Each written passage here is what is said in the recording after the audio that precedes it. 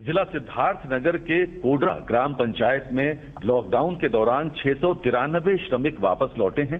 इन्हीं में से एक श्री कुर्बान अली जी अब प्रधानमंत्री जी के साथ वार्तालाप करेंगे। कुर्बान अली जी नमस्ते। प्रधानमंत्री जी और मुख्यमंत्री जी को मेरा नमस्कार। नमस्कार। ये पीछे जगदम्बी प्रसाद बड़ा गुस्सा करते होंगे। उनको नाराज़गी होती है देखो ये हमारे यहाँ का कुर्बान अली तो बात कर रहा है, लेकिन मुझे बात करने का मौका नहीं मिल रहा है। कहिए, कुर्बान अली, क्या करते हैं आप कल? सर, मेरा नाम कुर्बान अली है, मैं कोडरा ग्राम जिला सिद्धार्थनगर से बोल रहा हूँ। मैं मुंबई में राज मिस्त्री का काम करता था। लॉकडाउन के दौरान मैं और मेरा छोटा भाई गाँव वापस लौट कर आए।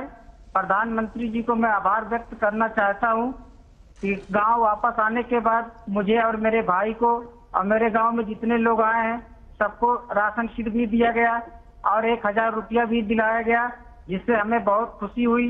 और राज्य सरकार को हमारे हुनर के मुताबिक हमारे ही गाँव में हमें काम भी दिलाया गया, जिससे मैं राज्य सरकार और प्रधानमंत्री जी को आभार व्यक्त करना चाहता हूँ।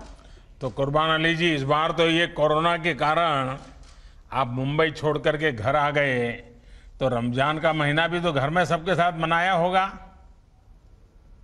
नहीं सर पंद्रह मई में हम लोग मुंबई में थे। अच्छा अच्छा। लॉकडाउन में मुंबई से बारह मई को मैं अपने गाँव वापस प्राइवेट बस से गाँव वापस आ गया। अच्छा। तो अभी गाँव में क्या करते हैं? आप वापस आए हैं तो? सर गाँव वापिस आने से पहले मेरा मेडिकल जाँच हुआ इक्कीस दिन होम क्वारंटीन में भी रखा गया। मैं और मेरा छोटा भाई गाँव पे प्राइवेट में काम करते थे। और यहाँ पे प्रधान जी हमारे सामुदायिक शौचालय बनवा रहे हैं, जिसमें हमें हमारे भाई को राजमिस्त्री का काम भी दिलाया गया। और आगे बोले प्रधान जी की राज्य सरकार द्वारा जैसे और काम भी मिलेगा, जैसे प्राइमरी की मरम्मत और गाँव में घर घर शौचालय भी बनाए जाएँगे। हमें वहाँ भी राजमिस्त्री का काम भी दिलाया गया। राजमिस्त्री की हमारी ट्रेनिंग भी शुरू हो गई है, जिनका सर्टिफिकेट हमें दिलाया गया है। अच्छा अच्छा यानी अब अब आप एक बड़े सर्टिफाइड राजमिस्त्री बनकर के काम के लिए जाएँगे आगे।